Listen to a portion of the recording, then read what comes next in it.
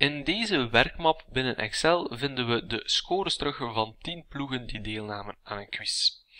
We gaan deze gegevens verder gaan uitbreiden, zodat we straks een automatische berekening hebben van de winnaar.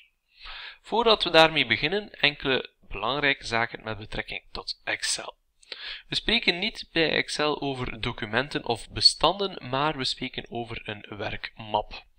Binnen een werkmap hebben we verschillende bladen. In dit geval is er nog maar eentje, maar we zullen er nog meerdere gaan toevoegen. Iedere werkblad bestaat uit verschillende kotjes, maar we gaan dat benoemen met een cel. In dit geval is er een cel geselecteerd. Dat kan ik zien bovenaan in de kolommen aan de licht gemarkeerde kolomkop en hetzelfde aan de rijkop.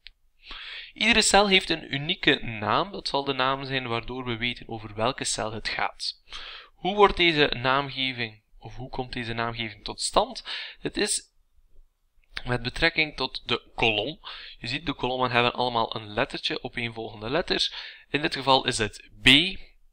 En ik kijk naar de rijen, daar zit ik in rij 6.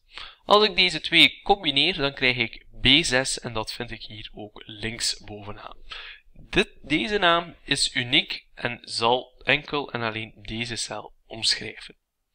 Indien je meerdere cellen selecteert door te klikken en te slepen, dan spreken we over een bereik. Een bereik, hoe wordt dat benoemd? Dat start eigenlijk met de eerste cel die geselecteerd is. In mijn geval is het dus B2, punt en dan B6.